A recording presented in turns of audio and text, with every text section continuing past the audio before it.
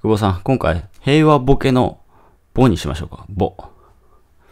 まあね、僕はね、平和ボケをしてるんじゃないかなと。ボケてると。まあ人生ボケてるっていう、なんかフォーカスが合ってないんじゃないかなと。ピンボケしてる。人生がピンボケしてるみたいなね。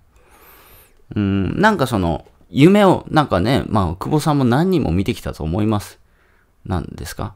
あの、ちょ、車の車種忘れたんですけど、多分塾の集まりでなんか、なんか乗りたいで、この車乗りたいですって言ってた人どうなってたんですかね。なんか要はお金稼ぎたいですと。まあ、億万長者合宿のね、湯河原の時もそうですけど、まあ、億万長者合宿、億万長者になるんだっつってね、湯河原まで来たね、まあ、参加者の方、今やってますか？僕たちやってますけど 要はなんか、うん、まあね、億万長者合宿の本編でもね、知った激励というかね、その、せっかくのチャンスがあるのに、なんでそのプレゼンできるチャンスがあるのに何も用意してこなかったのみたいな。要はあの時誰もね、自分の商品持ってなかったですよね。せっかくそのプレゼンができる、まああの、億万長者合宿の場所で、まあ久保さんのね、媒体でその、あの、プレゼンができる、媒体がなんかできるみたいなありましたけども、誰も商品持ってないみたいなね。うん。まあ、あれば宣伝できたのにねだからな、なんすかね、稼ぎたいと言いながら、その、久保さんはね、ピントがね、もうめちゃくちゃ合ってましたね。どこにピント、なんだろうな。久保さんの場合はどこにピントを合わせればいいか分かんなかったけれどもね。それだってやり方分かんないわけですから。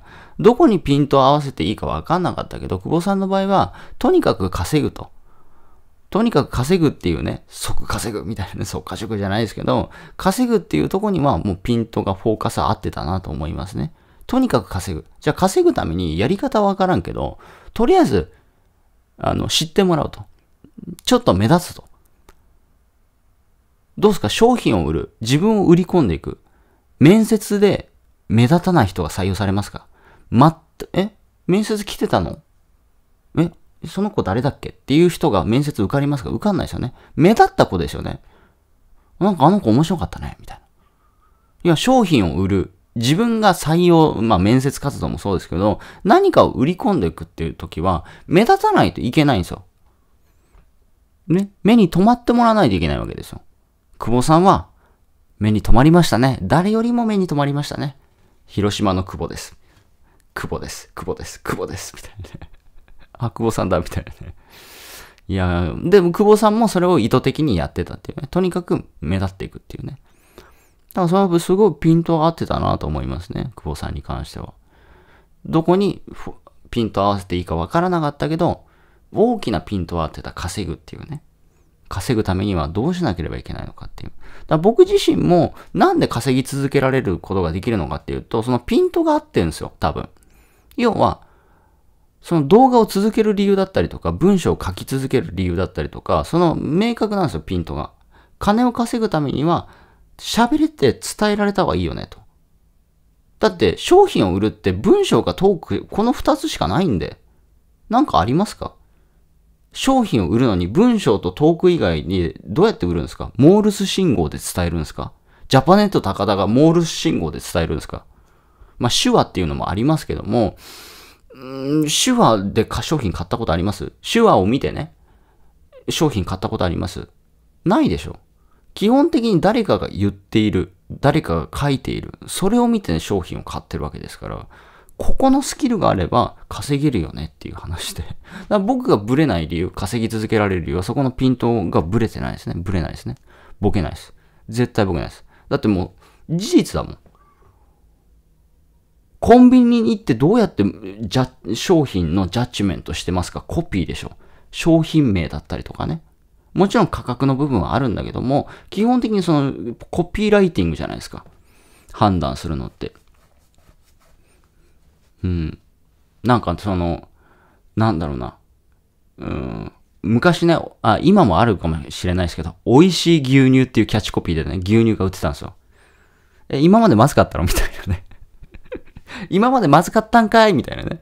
美味しい牛乳っていうね。まあ、いろんな牛乳が売っててね、美味しい牛乳っていうのが昔売ってたんですよ。まあ、今も売ってるかもわかんないですけど、美味しいのか なるほど、美味しいんだな、みたいな買っちゃいますよね。まあ、まず、まあ、突っ込み、突っ込めるんだけどね。いや、今までまずかったのかみたいなね。でも、美味しい牛乳ですって言われると、飲んでみようかなってなりません？いっぱい商品あるのキャッチコピーじゃないですか。どうですか？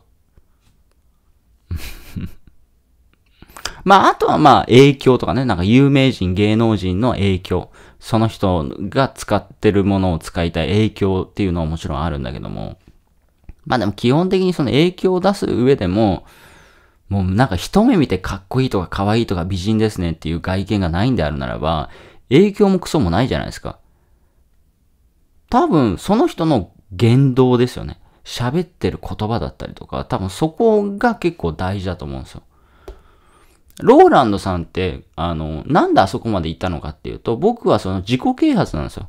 ホストで自己啓発みたいな。なんですかね、ビジュアルはいい、ビジュだってかっこいい人なんかローランドさん以外にもいっぱいいるわけじゃないですか、ホストなんて。なんでローランドさんがあそこまでその影響力をもたらしたかっていうと、コピーなんですよ。トークなんですよ。喋る言葉なんですよ。あれが他の人と違うんです。考え方が違うんですよ。そう。だから、僕は、あの、ローランドさんはぶち抜いたなっていうのはありますよね。うん。な感じですかね。みんなボケてますね。いってらっしゃい。